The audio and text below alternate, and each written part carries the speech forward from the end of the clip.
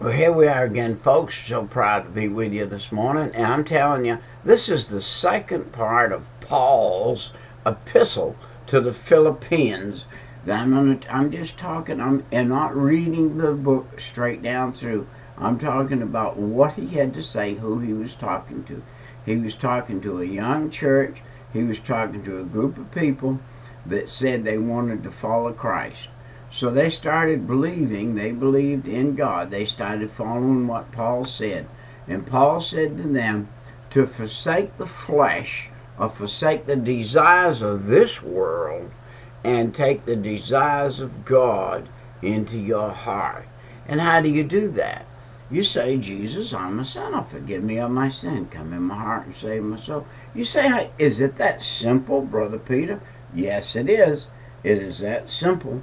You take a little tract that says right in it, it says, uh, uh, how to ask Jesus to forgive you. You say, I, am I a sinner? Have you ever sinned? Have you ever asked Jesus to forgive you of sin? If you've never asked him, you're still a sinner. So you say, what do you do then? Well, what do you do is you say, well, Jesus, I am a sinner. Forgive me of my sin. Come in my heart, save me. You say, is it that simple, Brother Peter? Well, yeah, for God, it's that simple. For you and I, it wouldn't be. We got to go through an act of Congress to sharpen a pencil. But God, it is not. It's nothing to God. Listen, I, I feed a few, a handful of birds out here. God feeds all the birds in the world. hey, is there anything too hard for God? It's not too hard for Him to save you and uh, cleanse you, make a different person of you. You haven't got to be around anybody else, just you and God. And then you can get your Bible down. You can say, Lord, now that I've asked you to save me, would you reveal this book to me? Take it, open it up. You well, you don't know anything about it, and uh, look in the front cover, and right in the second page there, it has all of the books, 66 of them listed. Will you look into the last down at the bottom of those? It'll be over in the book called the New Testament, which is the last part of the Bible. The New Testament is the revelation of Jesus Christ. And it's the story of how Jesus came, walked on the earth, and his little three year period that he was uh, here on the earth, walking on the earth. And then he left a group of disciples, uh, 12 of them, and they were supposed to apostolize uh, the rest of the world with their lives while they were here.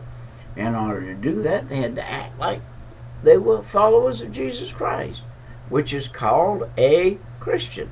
That's Christ like. What is a Christian? A Christian's one that's Christ like. This is what Paul said. The mind of a Christian uh, adjusts his mental attitude and his attitude toward the world and says the things of the world is not what I need anymore. What I need now are the higher things, the things uh, that are high that uh, exalt God. And what we need to do, the higher things of a man, in a Christian man, is to exalt the Father in heaven. This is what the Father in heaven wants, and He wants worship. He wants fellowship.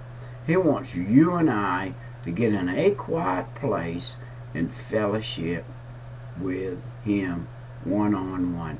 God chose different people through different times.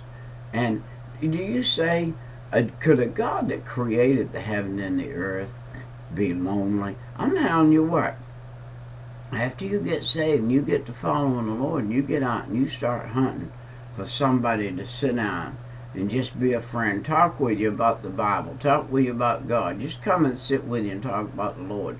Crack open the Bible and say, hey, look at this revelation the Lord showed me. And they say, look at this one the Lord showed me. And all that. That's hard to find. You can't hardly find that. You can't hardly find it anywhere today in this world. But that's what God's looking for. You know, when he had Moses on that mountain 40 days and nights, I wonder, this is what I wonder. I wonder, did he have Moses up there for 40 days and nights because he was, he had a lonely spot in, in the God being that he is, and he had this little spot right here that he wanted to fill with a man? With a person, and he sat and talked with Moses and communed with Moses just like he did with Adam when Adam was in the Garden of Eden. Why do you think God came down in the early part of the day every day and talked with Adam and talked with Eve? Why did he do that? He did it because he made man so he could commune with him. And then he left this system for you and I, which is called prayer, which we can commune with God. There is a mode that you need to get in when you're praying. And that mode is to say, I'm not going to just recognize you, God, but I'm going to pay attention that you are listening to me. I'm not just blowing words in the wind.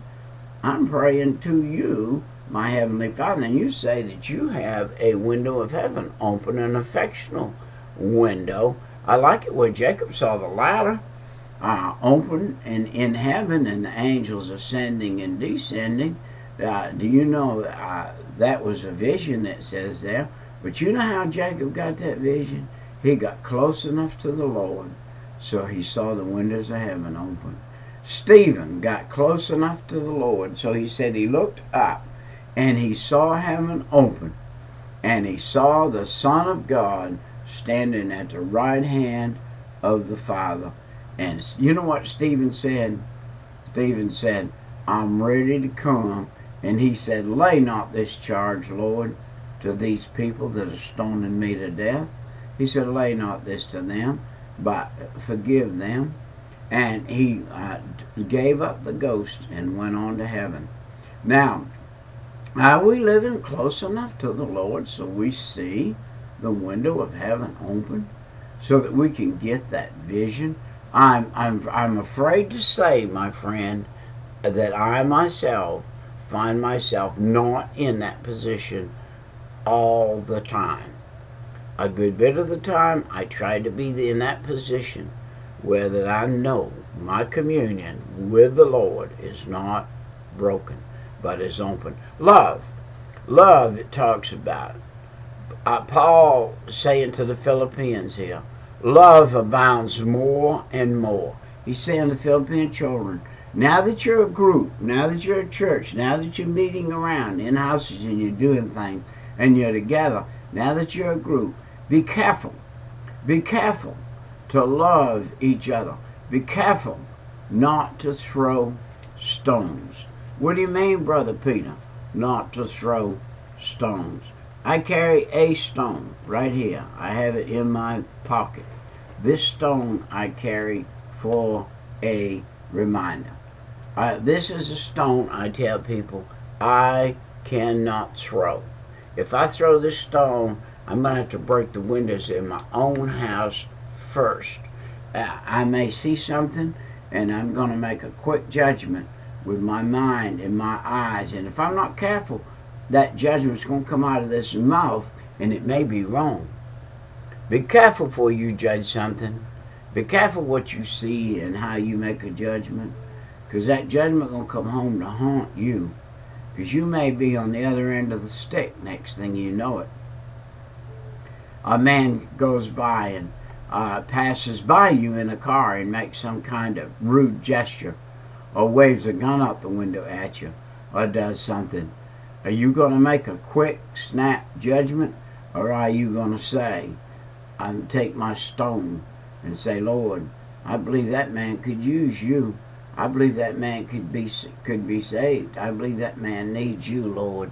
Uh, could you say that, or do you say all manner of other things about that person that did that? Uh, listen, a sinner is a sinner, and you don't need to be throwing stones at a sinner. You need to be throwing the word at that sinner and to that sinner. Words like, "Hey, fella, here's one of my tracts. If you'll read this and do what it says." you can get saved. And if I don't know that man, and I hadn't seen that man before, and I may never see him again, I can say, Lord, help me to pass by his path again. And the Lord's done that time after time after time. Cross his path again, where I can say something to him properly about the Lord Jesus Christ. My question today, get the book of Philippians down, read it. Read what Paul's talking to the apostles. Our time has come and gone, and we'll see you next time Uh, this is Brother Peter again, tidbits from